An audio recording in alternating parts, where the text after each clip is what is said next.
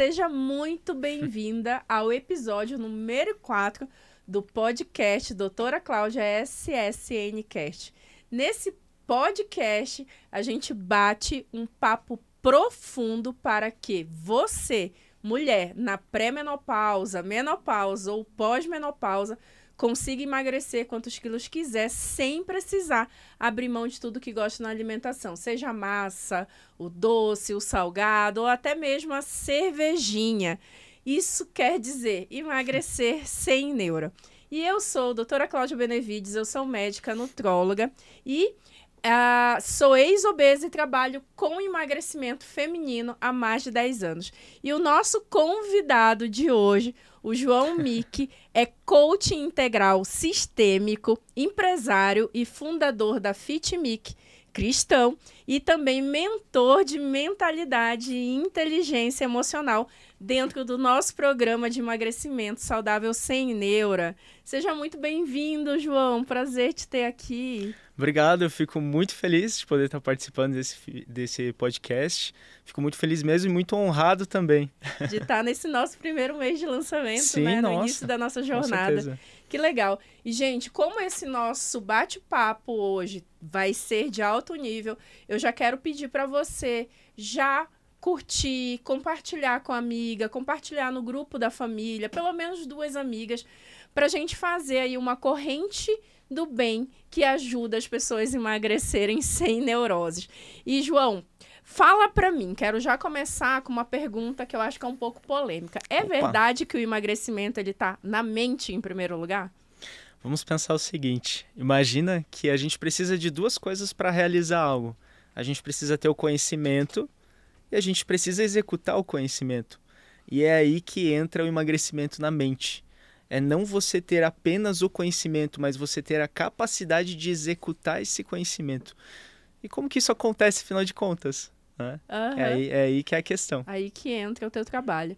Uhum. E aí, até aproveitando, explica pra gente o que é ser um coach, principalmente um coach integral sistêmico. Ah, show de bola o que, que é um coach, né? Afinal de contas, a gente vê muitos coaches por aí, coach para lá, coach para cá, coach de tudo que é tipo de coisa, e muita gente não sabe o que, que é de fato o conceito de coaching.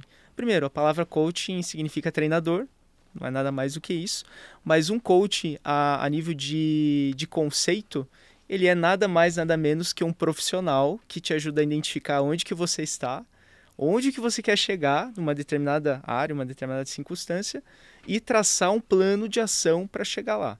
Isso é um coaching. Basicamente é isso. Por isso que a gente encontra coaching de saúde, coaching de esportes, coaching de relacionamento, coaching de negócio. A gente encontra vários tipos de coaching. E o integral sistêmico, ele trabalha em qual área? Por que, que é integral sistêmico?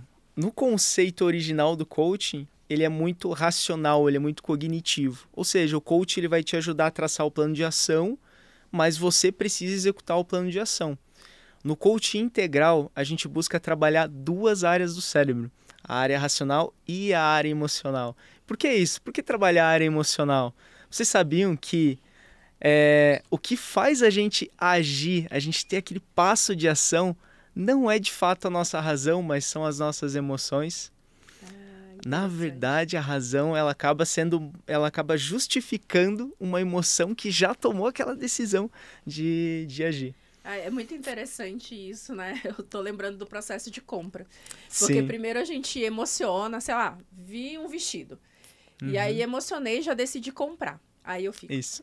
Ah, mas esse vestido, ele é importante. Uhum. Porque eu vou para tal lugar e eu preciso de uma roupa nova e não sei o quê. E aí a uhum. gente tenta usar argumentos racionais para justificar uma emoção que a gente já sentiu. É basicamente isso, né? Isso, exatamente. Uhum. E aí quando a gente aprende a controlar essas emoções, identificar emoções, entender a si mesmo, a gente passa a ter muito mais recursos para poder agir e fazer aquilo que a gente sabe que precisa fazer. Uhum. Quantas pessoas, até pessoas que estão assistindo agora esse podcast, já sabiam exatamente o que tinha que fazer para alguma coisa, mas na hora de fazer não fez, é. não vai e não, não consegue entender. É procrastinação, é preguiça, é medo, é, fica meio perdido e não sabe por que, que não realmente não age naquilo que deveria agir.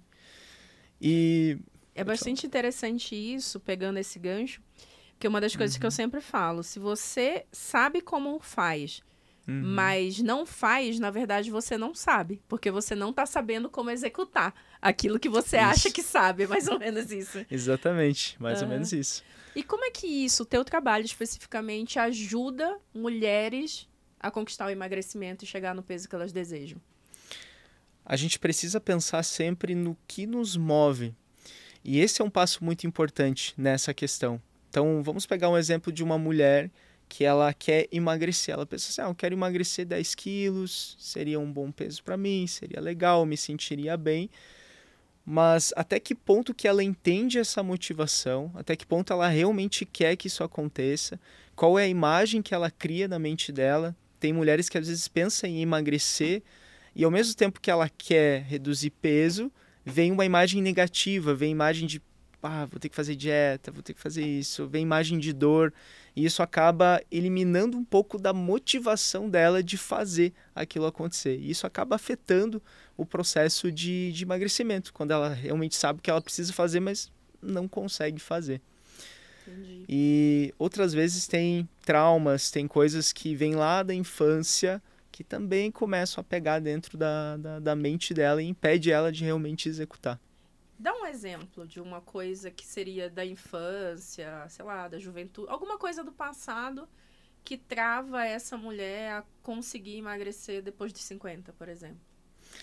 Olha, tem um fato que é, é um pouco difícil de falar, mas é necessário. Abusos na infância é algo que pode e muitas vezes leva à obesidade. Mas por quê? Como que isso acontece? Muitas vezes, quando a criança é abusada na infância, ela entende que o fato dela ser bonita levou ela ao abuso. Então, ela busca de forma inconsciente a tomar ações para ganhar peso, para não se cuidar de diversas formas, para que ela se mantenha longe desse trauma que foi o abuso. E de certa forma ela entende ali que ela engordando o corpo, ela cria uma camada, uma armadura de proteção, isso. seria isso. Exatamente e outras questões também, rejeição, rejeição na infância, rejeição na adolescência, acaba causando esse tipo de efeito. O efeito de não se cuidar, de não buscar é, fazer algo para que tenha um corpo melhor. E à medida que o tempo vai passando, a gente vai criando histórias para justificar isso. Uhum. Um dos princípios que eu gosto de falar bastante nas mentorias é da coerência do cérebro. O cérebro ele sempre busca coerência. Verdade. É muito dolorido para a gente viver e se sentir incoerente. Então, quando a gente tem, é, a gente não está conseguindo fazer algo, chega um determinado ponto que a gente começa a criar justificativas para isso. Ah, eu não estou conseguindo porque também aconteceu isso na minha vida ah, não consigo realizar isso daqui porque eu nasci desse jeito, eu sempre fui assim. Você começa a criar historinhas justificativas que elas se fortalecem ao longo do tempo e por isso que, de repente, você nem sabe mais por que, que você não consegue fazer as coisas, o que está te impedindo. Interessante. Não, a nossa mente é um negócio que realmente precisa ser estudado, acompanhado e direcionado, né? Sim. Porque eu costumo, como eu tenho esse olhar mais técnico e médico e cientista, uhum. é, eu sempre venho com o argumento da evolução, que a gente tem uma racionalidade que nenhum outro ser vivo na Terra tem. E que muitas vezes a gente desperdiça essa racionalidade, esse benefício que a gente tem agindo só na força da emoção. Mas a, agir pela emoção não necessariamente é negativo, né? Ela pode, Sim. eu posso usar uma emoção, muitas vezes até negativa, essa experiência do passado e transformar ela num, numa motivação, numa, uhum. num direcionamento, desde que a gente consiga trabalhar focado nessa emoção, né? Com o objetivo que se eu estiver entendendo direito, uhum. é isso que o coach te ajuda a você ter uma visão do futuro, o que você quer e traçar um plano até de comportamento e de posicionamento para você chegar até onde você quer uhum. chegar, né? Isso. Trabalhando a questão mental barra emocional, né? Por isso uhum. que é, é real que o emagrecimento ele começa na mente, né? Sim. A partir da decisão e tudo mais. Até por isso que você faz parte do nosso programa, porque eu tô aqui com toda a área técnica, racional, de alimentação, uhum. mas eu conheço das minhas limitações de conhecimento e de formação também. Então, eu me formei muito bem na parte médica técnica, uhum. mas eu entendo profundamente que se a gente não trabalhar a emoção, a mentalidade, fazer ancoragens muito fortes, você desiste, né? Porque você não tem um porquê, você não tem um motivo, você uhum. não se enxerga como deveria se enxergar e acaba se perdendo pelo meio do caminho, né? E eu queria puxar uma coisa mais é, interessante aqui, porque quando eu li aqui a tua apresentação, tu fez questão, porque essa apresentação que eu leio foi a formação que você passou aqui e uhum. quer que eu fale. E você falou uma coisa muito importante aqui na tua formação, que você é cristão. Sim. E esse valor, ele é muito importante para ti. Como é que você traz isso? Porque independente de ser emocional ou não, o nosso trabalho técnico, ele é sempre baseado em ciência, certo? Uhum. Até a parte Sim. do tratamento, do acompanhamento, do coach e tudo mais, tem o fundo científico por trás. Sim. E como é que a gente alinha isso com crença, com religiosidade? Uhum. Isso é muito em cima dos valores. Né? Então, o valor de ser cristão é um valor muito importante para mim. E eu sempre busco aliar o que eu sei que é ciência com o que eu tenho de valores cristãos que se encaixam nesse sentido. Então, tanto que na, dentro das mentorias, quando eu, quando eu estou passando para as alunas, eu sempre busco ter um equilíbrio nesses dois setores. Eu abro isso para elas, né? eu acho que é importante, até tem várias pessoas que se identificam, que são cristãs também, Sim. mas principalmente quando eu estou falando da área espiritual, por quê? Porque lá na o sistêmico do coaching, né? o que, que é o sistêmico? É a gente trabalhar todas as áreas da vida ao mesmo tempo em que a gente trabalha a área de emagrecimento. Por quê?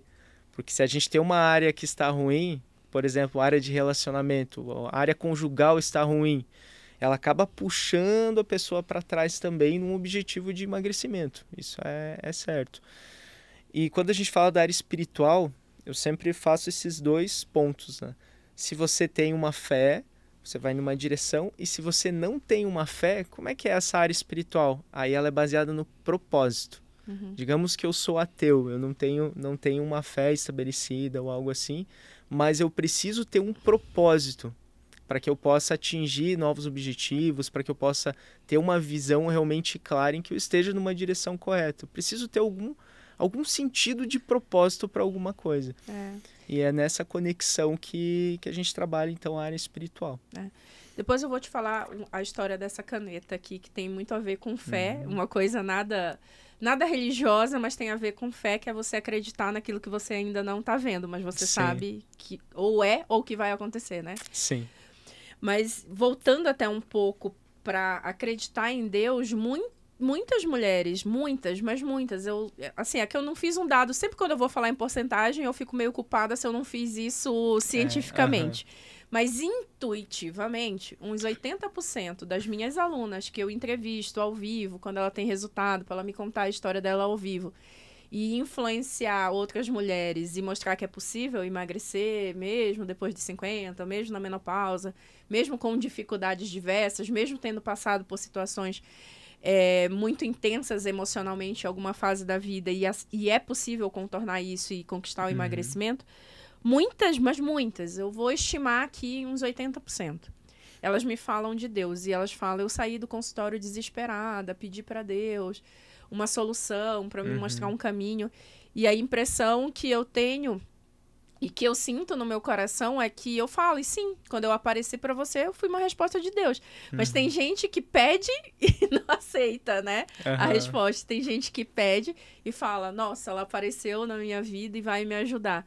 Então, eu, eu sempre falo, se você acredita em Deus, olhe para os sinais, porque ele não vai fazer tudo por você. Ele vai uhum. te dar, ele vai te mostrar o caminho, ele vai te mostrar a direção, mas você tem que tomar a decisão também de caminhar, né? Sim. Tem um, um, provérbio que fala que a gente prepara o cavalo para a batalha, uhum. mas a vitória pertence a Deus. É. Mas a gente precisa preparar o cavalo para a batalha. é verdade. Não é só ir. Uhum. Interessante. Então é isso. É, e esses dias também, eu tava fazendo uma unha no salão, eu tava em Brasília, que eu tava pra viagem de né, congresso, cursos Uhum. e mentorias que eu faço.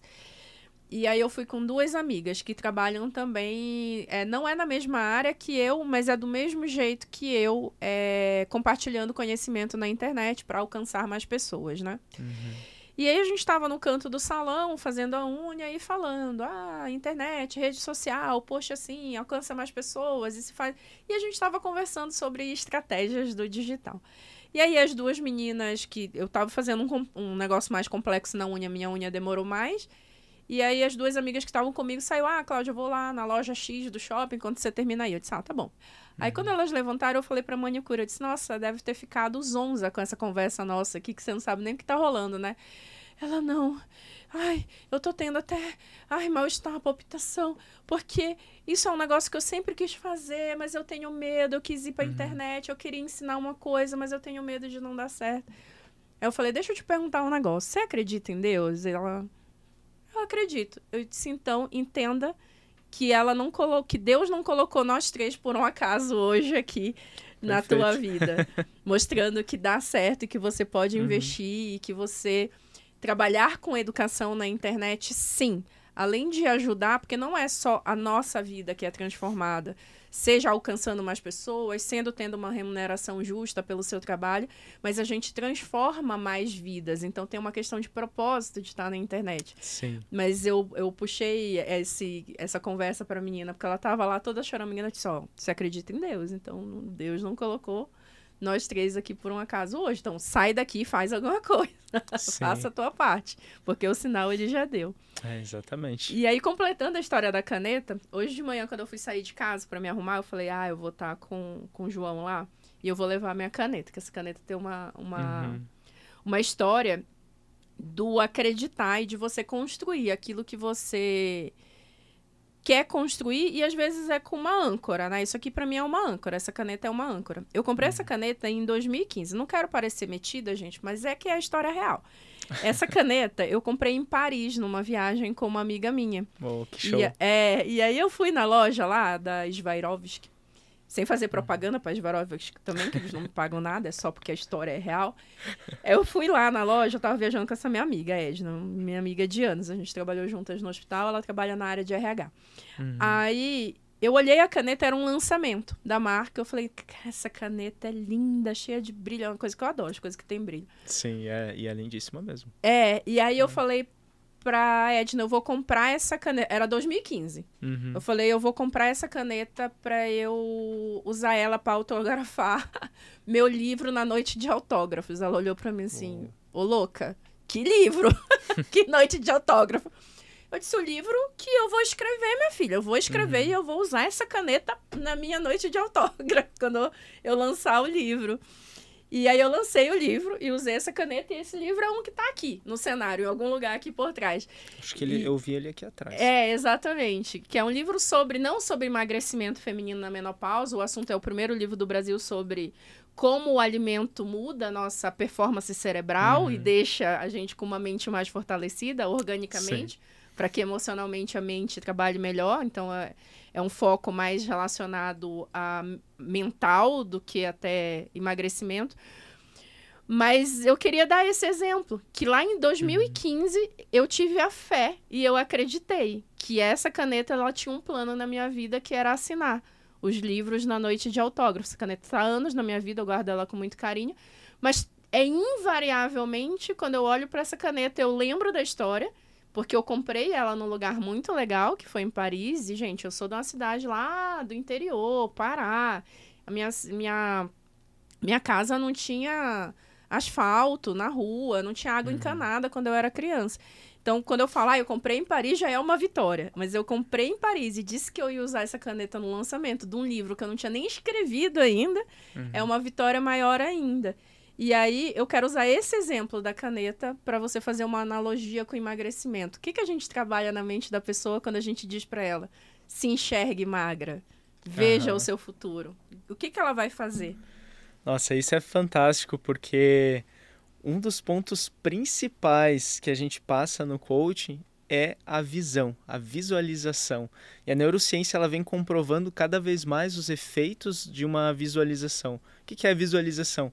É você ter uma visão clara de onde você quer chegar. Só que não é só uma visão assim aleatória, é uma visão realmente detalhada de onde você quer chegar, que você se imagina lá, você pensa até na roupa que você está vestindo, as pessoas que você vai ver, o, o sorriso. É, no caso de emagrecimento, né, você visualizar o seu corpo, visualizar a sua família, as pessoas que você ama contigo. Então todas todas essas coisas elas criam o quê? Emoções. Elas geram emoções. Quando você fecha os olhos e começa a imaginar isso, o impacto emocional que existe dentro de você é algo que vai te instigar a perseguir esse, esse objetivo. E muitas vezes a pessoa nunca parou para ter uma visão assim. E vai fazer nunca você parou. enxergar os sinais também, né? Exatamente, exatamente. Sabe quando você está eh, é, procurando comprar um carro, por exemplo? E você olhou lá, olhou um, sei, um, um Logan da Renault, vamos uhum. supor. Você olhou um, um, Logan e achou interessante, começou a olhar mais aquele carro. Aí de repente você começa a ver um monte de Logan na rua. É, Logan para lá, Logan para cá. O que acontece? Será que os Logans foram atraídos até você? Não. O que acontece é que o seu cérebro, como ele tem uma visão desse carro, ele começou a prestar mais atenção ao seu redor para buscar esse carro. É como se o cérebro ele se abre para as possibilidades e ele começa a enxergar essas possibilidades, essas oportunidades que possam levar você àquele lugar. Então imagina assim, eu quero emagrecer, agora eu estou trabalhando essa visão. Aquela pessoa que vivia me convidando para dar uma corridinha, eu nem dava muita bola, agora eu começo a ter vontade de aceitar aquele convite. Aquele convite lá para academia que eu não dava muita bola, eu começo a ter vontade. Aqueles conteúdos que apareciam de vez em quando no Reels ali do Instagram, que era sobre saúde, que às vezes eu só olhava um pouquinho, pulava, agora eu começo a olhar. Por quê? Porque eu estou atento às oportunidades para me levar aonde eu quero chegar. É por isso que precisa ser uma visão detalhada, porque ela precisa gerar emoção. E uma coisa interessante até, porque quando você não tem essa visão de futuro muito clara do que você quer, você uhum. tem a sensação de que não é para mim, né? Ah, tá convidando para ir na academia? Ah, mas não tô querendo emagrecer, Sim. então não vou. Ah, apareceu uma roupa bonita na vitrine. Ah, mas não cabe uhum. em mim, uhum. então não vou nem olhar, não vou nem entrar Sim. na loja. Então você também começa a afastar aquilo de você porque você tem a sensação de que não é para você. Agora, uhum. quando você fala é para mim, vou dar o exemplo da caneta, porque eu já eu faço isso é, intuitivamente na minha vida há muito tempo, mas a da caneta. Além de ter uma visualização muito clara do futuro, eu uhum. também queria contar a história para minha Sim. amiga e dizer, ó, oh, lembra que a gente comprou juntas essa caneta e ela tava, minha amiga tava na noite de uhum. autógrafo lá. E eu, Edna, você lembra que eu comprei? Então tem uma tem várias coisas, tem a questão do orgulho, tem a questão do compromisso e uhum. tem a uhum. questão de você enxergar as, as possibilidades. Porque se eu não tivesse querendo escrever um livro, eu também não ia sentar a bundinha na cadeira e escrever o livro Sim. por vários meses, né? Exatamente. Então você vai tendo comportamentos e visões. E aí eu, vou, eu quero falar até de uma visão que você deu o exemplo do carro, né? Geralmente esse negócio de escolher uhum. carro é uma coisa mais de cabeça masculina, né? Mulher é sapato, é roupa, é. Mas, mas uma coisa muito comum que acontece com. As meninas devem saber isso, já. Uhum queria muito engravidar. Quando você ou tá grávida ou quer engravidar, você só enxerga a grávida na tua ah, frente sim. o tempo inteiro. Uhum. Quer dizer que mais pessoas engravidaram? Não, continuou o mesmo de gente aí. Tem anos que é a mesma quantidade de gente que engravida todo ano. Uhum. Só que você começou a olhar, porque é um desejo no teu coração. E aí a amiga ficou grávida, a vizinha, a prima da prima. Da... Aí você fica sabendo, você presta atenção em todo mundo que tá grávida e você só enxerga a grávida rua. E aí acontece Sim. muito com a mulher isso em uma fase, mas é por causa dessa tensão, né? Isso, exatamente. E por isso que é muito importante o ecossistema. Uhum. É um outro princípio, né? O ecossistema. Perfeito. Então, vamos pegar o exemplo da, do emagrecimento. Né? Agora eu começo a ter mais atenção, aí eu começo a sair com pessoas que têm o mesmo objetivo, que gostam de saúde, que gostam de exercício, que gostam de se cuidar e aí eu começo a fazer amizades nesse meio e tudo isso vai criando um ecossistema que vai alimentando essas coisas, vai uhum. alimentando essa visão. E se eu trabalho essa visão todos os dias na minha mente, cada vez mais eu vou estar mais aberto a oportunidades e as coisas vão se retroalimentando. Só que o oposto também acontece. Se eu começar a alimentar uma visão negativa, se eu começar a ter uma visão de futuro minha em que eu eu tô ganhando peso, não adianta, eu vou ficar doente, eu começo a me envolver com pessoas que têm essa visão parecida e aí vai alimentando de uma forma negativa. Perfeito. E aí o ambi é muito o ambiente realmente que você tá. Sim. Inclusive lá no, no programa de um ano do Saudável Sem Neura que a gente tem que você é mentor, um dos pilares do programa, a gente tem videoaulas com tirar suporte de tirar dúvida com Uhum. monitora minha do programa por WhatsApp. Um dos outros. São quatro pilares. O outro pilar é mentorias ao vivo, com Sim. mentores, profissionais experientes que vão ajudar a direcionar ela no caminho do emagrecimento. A gente tem desafios, porque o ser humano adora desafio, depois a gente fala dessa questão da mente, do desafio, né? Como o Aham. desafio é uma coisa que move Sim. a pessoa a fazer. E um quarto pilar que é muito importante é justamente a comunidade. Eu falo, ó, você tem que estar num lugar onde você fale com outras mulheres que querem a mesma coisa, que querem Sim. emagrecer. Porque muitas vezes ela tá lá na casa dela dizendo, eu quero emagrecer, o marido não ajuda, não Uhum. apoia, ele acha, ai, vai emagrecer, vai ter que cortar tudo, vai começar a fazer comida ruim. Eu não, eu vou dizer pra ela continuar desse jeito aí que tá bom. E fala, mulher, não, tá Uhum. bom, você tá bonita desse jeito, quero que você emagreça não. Porque, na verdade, às vezes ele tá com medo dele mudar a alimentação dele, dele ter que entrar na dieta junto, Sim. não é? E amiga também. O que mais tem é amiga. Eu até brinco com as minhas. Como a minha audiência são mulheres acima de 50 e muitas acima de 60 e 70, inclusive as minhas alunas, eu tenho por volta de 50% das minhas alunas têm mais de 60 anos. Você conhece muito bem, né? Aham. Então, é, eu falo, mulher, para de ter orgulho de trocar remédio com a amiga. Que assim, ai, Uhum. qual remédio você usa? E disputar o número de doença, né? Sim. Ai, mas eu tenho diabetes, mas eu tenho pressão alta, ah, mas o meu é pior. Eu tenho refluxo também, não, mas o meu foi pior porque semana passada eu tava no PS com princípio de infarto. Eu disse, você tá com orgulho aí de disputar quem mais tem doença? Não, você tem que disputar quem tá mais gostosa, né? Aham. Quem tá indo pro número menor, perdendo 2, 3, 4, 5, emagrecendo ou eliminando, enfim. Uhum. É, e aí eu falo, então tá na comunidade é muito forte essa questão de ecossistema e tá olhando para todo mundo que tá Sim. querendo a mesma coisa. Então o papo não vai ser de remédio, não vai ser do- de doença, o papo vai ser qual a receita, né? Aham. Ah, o café da manhã que é legal, o almoço, que combinação você pode fazer. Ah, você tá emagrecendo, amiga, eu também. Olha, e aí posta foto da academia, posta Uhum. foto do fit dance, do, da zumba, enfim, das atividades que elas vão fazendo. Então, esse ambiente, e faz todo sentido. Eu não lembro direito, eu não sei se tu lembra, mas eu não lembro direito qual é a porcentagem. Mas assim, se você tiver cinco pessoas ao teu redor com obesidade ou sobrepeso, a chance aumenta muito, né? Daquela Sim. pessoa estar com obesidade. Sim, exatamente. É, o conceito geral é cinco pessoas. Aham. sim. Que eu saiba, não existe um estudo Aham. exatamente sobre isso. Tem, é mais. eu só não lembro direito do número. Aí toda vez que eu não lembro o número, eu Uhum. tenho medo de falar. Mas aumenta algumas vezes a chance da pessoa se tornar obesa. E tem estudo mesmo. Que Hum, mostra quando, quando tem cinco pessoas ao seu redor, ou Uhum. até não sei quantos vizinhos também tem. Tem uns, tem uns estudos muito doidos, né? Que eles falam de geração e fala de, vi- Sim, de sim. vizinhança, inclusive. uhum. Que mostra ali a porcentagem exata da obesidade. É maior. E tá baseado no que a gente tá falando aqui, né? Se Sim. eu vivo num ambiente onde todo mundo normaliza ser obeso, eu tô normal naquele ambiente. Sim.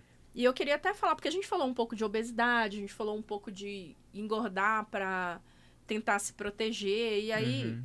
hoje, eu tenho, eu tenho um desafio. Eu tenho um desafio de trabalhar com obesidade na internet, porque a gente tem muita questão da gordofobia. Porque toda Sim. vez que a gente fala assim, ah, nossa, você engordou pra se tornar talvez menos atraente, tem um monte de gente que fala, ai, mas a pessoa obesa não pode ter um amor, não pode ter ser atraente, isso é preconceito. E eu falo que eu nem falo a respeito disso porque eu falo baseada em saúde, baseada em ciência. Não Uhum. existe obeso saudável.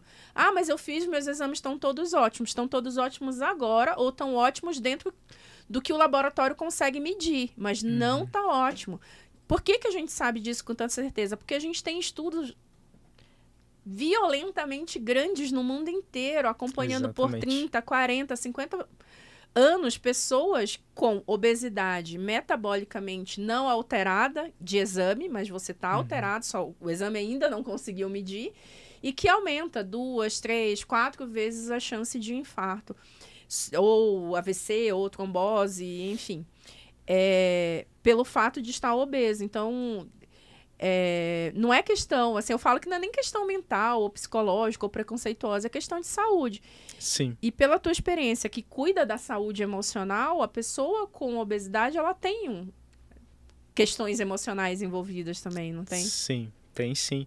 E uma coisa que é muito importante nisso é que se você leva em conta que eu quero emagrecer e eu preciso emagrecer, você precisa trabalhar a tua autoestima. Uhum.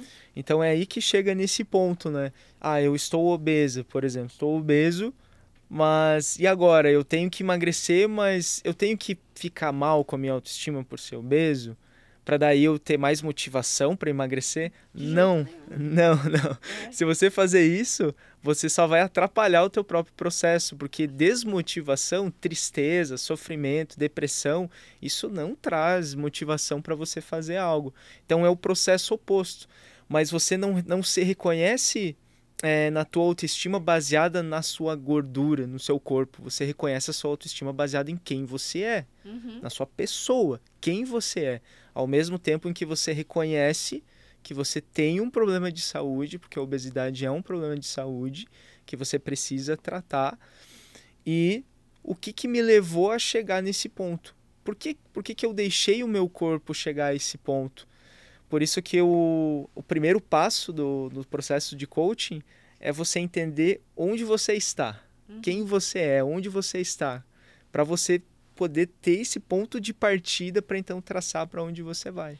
É, e tem uma questão muito profunda no processo de coach, que é a questão da identidade mesmo. né? Sim. É quem você é, que é diferente de como você está. Sim, Porque eu sempre falo isso, por incrível que pareça, em relação ao metabolismo. Porque a pessoa fala assim, ai, meu metabolismo é lento. Eu falo, não, o teu metabolismo, ele não é lento. Porque o é é alguma coisa que eu não posso mudar, certo? O que é, é. Não, não dá pra ser é e não é.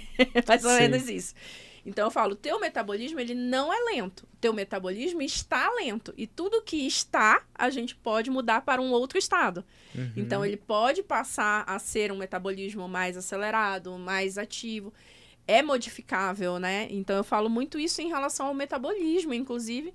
E é engraçado porque tem um fundo até do, do trabalho do coach em relação a isso. Eu não posso, eu só posso dizer que uma coisa é quando ela é, né? sim, Que eu exatamente. não consigo mudar aquilo. Exatamente. Essa questão da gente pensar em quem nós somos, você começa a, a ir para trás. Primeiro, falando de físico, né? O que, que um corpo humano nasceu para ser? Será que ele nasceu para ser um corpo obeso? Uhum. Não. Será que ele nasceu para ser um corpo que não, não faz atividade física, um corpo sedentário? Não. Será que ele nasceu para comer McDonald's todo dia? Não. e quando você começa a entender isso, você já tem uma direção. Como que o corpo nasceu para ser? Como que ele realmente deveria ser, né? Como que ele é na sua essência? E a mente funciona da mesma coisa. Quem eu sou em essência, de verdade? O que que, o que que eu tomei como verdade na minha vida desde a infância e acabei moldando isso na minha personalidade, mas isso não é, não faz parte de mim, de quem eu sou de verdade. Isso. E aí, voltando até, para quem acredita em Deus, eu sempre falo: você acha que Deus quer para você uma realidade que você tá com dor, que você tá com sofrimento, que você tá ansiosa, que você tá depressiva, que você não consegue brincar com os teus netos, que você não consegue andar 15 minutos na rua? Não, ele não quer essa realidade para você, correto? Sim, exatamente. Ele quer o melhor. Essa é uma, é uma vantagem de acreditar em Deus. Aham. Porque você, primeiro, você tem fé, você tem alguém que cuida de você, então você consegue ter mais tranquilidade. E outra é que se eu sou filho de Deus, então eu sou filho do rei. Uhum. Eu sou um príncipe, eu sou uma princesa. E se eu sou filho de Deus, eu nasci para algo muito maior do que isso que eu estou vivendo. Perfeito. E o que me levou a estar onde eu estou hoje foram limitações que eu mesmo coloquei por conta de situações e traumas e coisas que eu fui moldando e aprendendo ao longo do tempo. Uhum. E o segredo para a gente encontrar esse ser é a verdade, é ser verdadeiro. Você deve conhecer o Jordan Peterson, né? Uhum, sim. Então ele fala muito sobre isso, da a importância da gente sempre ser verdadeiro. E quantas vezes nós ficamos mentindo para nós mesmos sobre várias questões. Essa questão do sobrepeso, eu posso dizer assim: ah, não, mas eu, eu, eu sou feliz com essa barriguinha aqui. Eu tô é, bem. Homem, então fala é. calo sexual. É, é um calo sexual. Tô feliz aqui com a minha barriguinha. Uhum. Será mesmo? Uhum. Será mesmo? Ou não é uma historinha que você criou para justificar o, o teu sedentarismo ou o teu medo, algo que é mais interno? E a gente precisa buscar isso, a gente precisa dar uma cavocada sobre isso, porque senão a gente vai viver numa mentira. Uhum. A gente mente para nós mesmos, criamos justificativas, mantemos essa mentira, e quando alguém vai ali e toca, aquilo dói. Uhum. E dói muito, porque mexe lá na ferida. Nossa, e como dói, né? É a história. É, num dos podcasts eu falei com o Fernando, que também tem formação em coach e educador Uhum. físico. E ele falou muito disso, que a gente não quer ficar perto de quem fica beliscando a gente o tempo Aham. inteiro, né? Por isso que a gente tem uma, uma tendência a se afastar quando uma Sim. verdade dói, quando essa verdade belisca, quando essa verdade de alguma forma atinge a nossa alma. E ela só atinge quando realmente tem fundo de verdade. Porque se não é verdade, não é verdade. É. Eu não posso olhar pra essa caneca e dizer que ela é verde. Pô, Ela não é verde, ela é preta. Uhum. Então, não atinge. Então, se alguém olha, fala pra mim uma coisa que não é a minha identidade, que eu não sou eu, o que que eu vou fazer? Não me atinge. Uhum. Ou eu não preciso ficar me defendendo de uma coisa que eu não sou, se não é. Agora, se eu me defendo, se isso me dói, na verdade, tem um pouquinho de é aí no fundo, né? Sim. E é, no final das contas, é o orgulho. Uhum. É o orgulho que, que a gente tem, que ele é, é, é ferido naquele momento, e aí você você sai, você quer sair, você quer fugir. Uhum. Porém, o quanto, quanta, o quanto essa fuga te trouxe problemas ao longo dos anos. Sim. E, e eu falo que a dor quem vive é você, é você que tá vivendo essa dor, é você Uhum. que não consegue brincar com os netos, é você que tem dor no joelho, é você que tem que passar no médico o tempo inteiro, enxaqueca, indisposição, autoestima baixo. Nossa, quantas mulheres eu tenho do meu meio de alunas e seguidoras que mandam mensagem, eu não consigo é, ter intimidade com meu marido de luz acesa, eu não consigo tirar Uhum. roupa, eu não consigo ir na praia e colocar um maiô e um biquíni. E tudo isso são feridas, né? São que feridas. vão ficando mais profundas com, com o passar do tempo. E quanto mais fica ali machucando, Uhum. mais profunda fica essa, essa ferida e mais difícil de cicatrizar, inclusive, né? Sim. E ele vai reduzindo a autoestima. Uhum. A autoestima vai caindo, vai caindo, vai caindo. E quando a autoestima cai, cai também a esperança. Interessante. A Bíblia fala muito sobre esperança e fé. Uhum. A esperança, ela precisa estar sempre viva, porque quando a esperança ela está caindo, a gente vai perdendo Fé. toda a fé e toda a motivação de fazer algo diferente. Até que chega um ponto que você nem acredita mais. Uhum. Você não consegue ter visão de futuro. E isso é uma coisa que eu já vi várias vezes acontecer, principalmente nas primeiras aulas com, com turmas novas, de ver assim a mulherada falando: Nossa, eu tô aqui me matando de chorar. Porque muitas vezes ela, ela assim, imagina, 30, 40 anos ela não parou para ter uma visão positiva. Ela não conseguia nem se dar o direito de imaginar uma situação positiva na vida dela. E envolve muito isso, envolve se sentir com direito, se sentir com permissão para fazer isso. Tem traumas que eles tiram a nossa permissão. Permissão. Nossa, que forte. Aí você não se, você não sente que não tem permissão nem de imaginar. Você começa a tentar imaginar, ver um monte de coisa. Nem permissão e nem merecedora, né? Exatamente. Questão de merecimento. merecimento. Eu não mereço. E o que é muito forte, é, eu sinto isso muito nas primeiras aulas, assim, com as minhas alunas. Uhum. É uma crença de incapacidade. Eu não consigo, eu não Aham. consigo. Eu, não, eu já tentei de tudo e não consigo, eu não consigo. Eu falo, mulher, pelo amor de Deus, vamos mudar esse negócio de eu não consigo por é possível, Aham. né? Ou é difícil por desafio. Falando nisso, eu fal- falei que a gente ia falar do desafio. Sim, por que, que a gente tem desafio? Porque a nossa mente, quando ela se sente desafiada, desafiada, é instigante, não é? A gente Aham. tem uma tendência a dizer, ah, mas tá dizendo que eu não posso? Eu posso sim. É um Não- instinto natural. É, né? De Sim. defesa. E qu- quando eu falo sobre é, metas neurologicamente corretas, Aham. é que, que existe uma forma da gente estabelecer metas que usa o nosso cérebro do jeito certo, É. falando em palavras mais leigas. E um dos pontos que essa meta precisa ser é ela ser uma meta desafiadora. Se for uma meta muito fácil, tem uma frase do Jim Rohn, não sei se você já ouviu falar do Jim Rohn, Não, esse não é um filósofo de negócios do século passado. Aham. Ele falava assim que tudo que é muito fácil de fazer também é muito fácil de não fazer. Ah, por isso que não dá certo dar de presente programa pra ninguém. Sim, que eu falo sempre sim. que o compromisso passa pelo bolso, que quando você tira do Uhum. teu bolso aquele investimento, é, é diferente, né? O, o grau de comprometimento. Quando eu ganho de presente de alguém, é fácil, de certa Sim. forma. Alguém me deu. Então eu não tenho um Exatamente. compromisso muito grande para fazer, né? É, acaba sendo muito fácil, não instiga. É igual a lei da oferta e da demanda, né? Se tem muito daquilo, ou seja, se é fácil, eu não tenho tanta vontade, tanto desejo de fazer. Agora, se é raro, aí eu já aquilo já me instiga mais. A mesma, o mesmo jeito é com o desafio. Então, se eu penso assim, como, como você calcula se é desafiador ou não? né? É, coloquei uma meta, eu quero é, eu quero emagrecer 10 quilos até, deixa eu pensar aqui, até junho, Uhum, digamos. Quero emagrecer 10 quilos até junho. Coloquei isso na minha cabeça. Uhum. Aí eu tenho que parar para pensar assim: eu consigo antes? Será que se eu me esforçar eu consigo antes? Se a resposta for sim, mas um sim sincero, não é para fazer loucura. Uhum. É sim.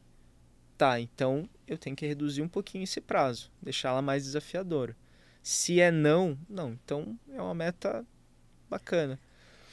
É, é dessa forma que a gente consegue entender esse ponto aí da meta desafiadora. É, e a, a meta também, ela tem, além dela ser, tem que ser possível de ser alcançada, não pode ser Sim. também uma coisa muito difícil, também não pode ser muito leve, mas ela é muito importante, né? Uhum. Eu- ano passado eu tinha colocado uma meta de crescer mais. Passar de um milhão de seguidores no Uhum. Instagram. E aí, quando a gente falou isso pra minha equipe que trabalha comigo lá, porque não só sou eu, tá, gente? A gente tem uma equipe por trás de Saudável Sem Neura. A gente começou em janeiro de 2023 com 300 mil seguidores. E a meta era chegar em dezembro com mais de um milhão de seguidores. Sendo que eu criei meu Instagram em 2017. Então, de 2017 a 2023 no início, eu tinha saído do zero para 300 mil seguidores. Imagina o que é crescer mais 700 em um ano.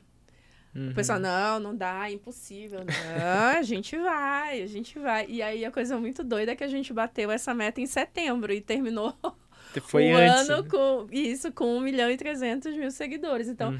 até passou da meta, mas, e a gente, mas era uma meta surreal, mas era possível de fazer, porque a gente começa a, a- a trabalhar para buscar aquilo, né? Sim, exatamente. É, legal, a Agora- emagrecimento. Imagina se tivesse colocado, a gente vai alcançar um milhão em três anos. Aham.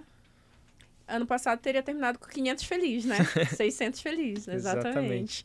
Muito É, bom. Nossa, muito gostoso. A visão, ela acaba. A forma como a gente faz a visão acaba direcionando as nossas ações. né? Então, se a visão fosse, como a gente pensava, um milhão em três anos. Ah, tá mais espaçoso, tá tranquilo, não precisa fazer isso daqui, não, isso daqui não precisa se esforçar tanto. Então acaba que ao longo do caminho, e é muito, é, é muito sutil, sabe? Uhum. São as ações diárias, aquele dia a dia mesmo que a gente vai cometendo pequenas ações, pequenos tijolinhos que acabam levando a gente a, a chegar naquela meta. Então por isso que ela tem que ser realmente desafiadora. É, e além de. Mas aí uma, uma das coisas, umas estratégias que eu uso até no programa também é repartir essa meta. Porque às vezes quando a gente pensa na meta Uhum. grandona, ela é muito difícil. Mas é porque ela tá ao longo, sei lá, ao longo de um ano eu quero emagrecer 20 quilos em um ano. Você pensa, mas meu, 20 quilos é muito. Uhum. Ai, 20 quilos é demais e não sei o quê. Mas quando você divide isso em meses, em um ano, nossa, é menos de 2 quilos por mês. Pô, agora ficou fácil. Sim, agora eu exatamente. consigo alcançar. E muitas vezes, quando ela divide isso, ah, eu vou emagrecer 2 quilos por mês, ela emagrece 3, ela emagrece 4, ela fala, nossa, foi mais do que eu pensava. Mas é porque vale a pena dividir em pedaços menores também, né? Sim. O, cé o cérebro vai tendo pequenas E- vitórias, né? E é importante ser mensurável, você Uhum. conseguir ir medindo o teu avanço ao longo do tempo. Aham. E essa é a melhor forma de, de fazer metas. Uhum. Primeiro você tem a visão clara, bem clara, bem, bem detalhada de como vai ser. Até falo para elas, né? Em vez de você pensar naquela meta que nem eu descrevi assim, eu quero emagrecer 10 quilos, Aham. você, em vez de pensar no emagrecer, você pensa em como vai estar. Então, em 12 de junho de 2024, eu vou estar pesando 60 quilos com 20%, 18% de gordura, muito forte, feliz, é, com muita energia e disposição, vou estar linda, vou vestir aquele meu vestido vermelho maravilhoso, meu marido vai me elogiar um monte, as minhas amigas, ela- elas vão perguntar o que, que eu tô fazendo. Então você vai, você cria toda uma visão, uma descrição que ela mexe nas tuas emoções. E aí você estipulou a meta, vai ser naquele dia, vai ter esse peso. Você começa a dividir, torná-la mensurável, e quando você chega ali no último estágio, que é, por exemplo, ah, são 2 quilos no mês, Uhum. digamos, 2 quilos no mês. O que, que eu preciso fazer toda semana para chegar 2 quilos por mês? Ah, eu vou, eu vou seguir esse passo a passo aqui, eu vou me alimentar dessa forma, eu vou fazer tantos dias de academia, eu vou começar a participar daquele grupo de corrida, eu vou começar a participar daquele grupo de dança. E no meu dia a dia, o que, que eu preciso fazer?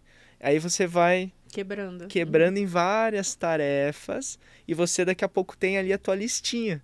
Do que, que eu vou fazer hoje? Hoje eu preciso fazer isso, isso, isso e É, isso. E eu meio que só aí, preciso dia- fazer hoje, e se hoje eu não conseguir fazer direito, não tem problema. É, É. sem neura que eu falo. Sim, Você exatamente. não precisa ficar se punindo. Hoje você não fez direito, tudo bem, meu amor. Uhum. Eu não faço direito todos os dias. O João não faz as coisas que ele tem pra fazer de acordo com as metas dele todo dia, porque nós somos seres Aham. humanos, a gente falha. Sim. E tá tudo bem. Eu sempre dou um exemplo. Quando você cai no chão, você tá indo, sei lá, pro- da tua casa pro supermercado. E você caiu no chão.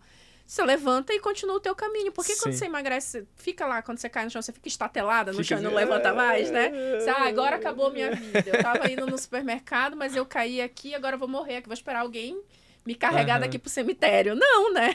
Sim. Então, em qualquer exatamente. coisa na vida, a gente cai, levanta, cai, levanta, bate a poeira e vai. Sim. Nossa, João, que papo maravilhoso. Eu vou pedir para te colocar, tu- falar tuas redes sociais para as meninas que estão aqui assistindo a gente te seguir. E aí depois eu já te peço uma outra tarefa. Ó, pra me seguir, você pode me seguir no Instagram, é arroba. Meu Deus, como é que se escreve isso? É Coach, C-O, é, C-O-A-C-H, Coach, João, João, e M-U-C-K, de Mick. Mickey. Na verdade, se escreve Muck, escreve Muck. mas se diz Mick.